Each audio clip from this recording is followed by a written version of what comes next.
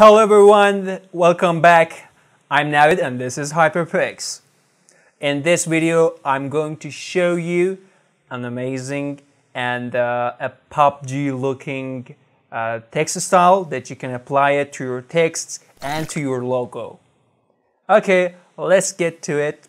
Uh, as you can see the detail in this work, as you see here.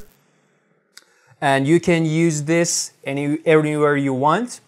And this style with uh, deactivating background layers, you can have this PNG and transparent and you can use it in your posters anywhere you want. Um, and anywhere on social media. Okay. Okay, let's edit this. Um, no need uh, to know Photoshop. All you gotta do is to double click on the text layers and write whatever ever you want. As you can see here, uh, you can change the font from here. Uh, no limits. Okay. As you can see, this uh, upper text is also editable here. Okay, if your text is uh, a little bit lengthy, uh, for example, like this, um, all you gotta do is to uh, select the lower level and choose con Control T and drag it. You can also uh, choose both of them and resize them. Okay, you can also do the same thing for the, the lower text. Okay. You can uh, resize it. All right. You can also apply this to your logo. All you gotta do is to import your logo and drag this uh, here and I'm gonna put it here in this folder, second folder. Deactivate those two layers. I'm gonna I'm gonna choose copy layer style and I'm to paste it on this. As you can see, this layer has been applied to this.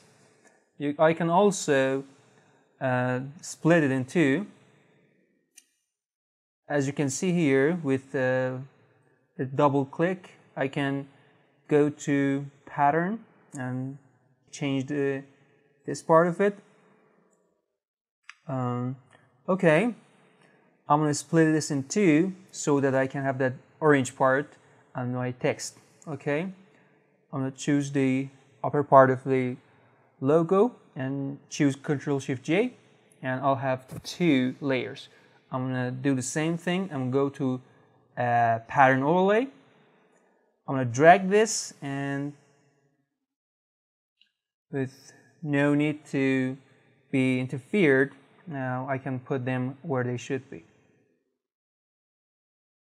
I can do the same thing for the other layer. Very easy. As you see, this is it. If you want to download this template, all you gotta do is go to hyperpix.net and get this and hundreds of other text styles that will help you with uh, other projects. Uh, all you gotta do is get a premium account. Now you can also apply this to any language. As you can see, I have a Japanese uh, design here. Super applicable to any language you want. Okay, thanks for watching this. I hope you enjoyed this. Uh, don't forget to subscribe to our channel and share this video with. And this is Navi.